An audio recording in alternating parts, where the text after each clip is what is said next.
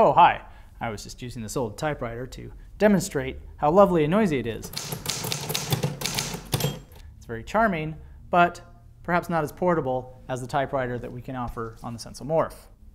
This is a very basic input device, but it's very important that we offer it because it gives you the most basic input you need that most people use their computers for daily. But unlike a laptop keyboard, this can connect to your phone, to iOS, and of course, if you get in the mood to write some music, you can just take it off and put on a keyboard.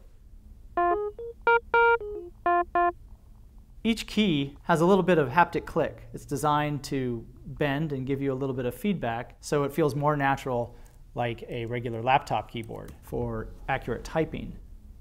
There is even also a little trackpad on this, so you can use it completely independently of your tablet, your phone, your computer, either through a USB connection or through Bluetooth. We also have a row of top buttons for function keys, as well as volume, zooming in, transport for your media players, escape and delete, and the things that you would expect from a normal keyboard.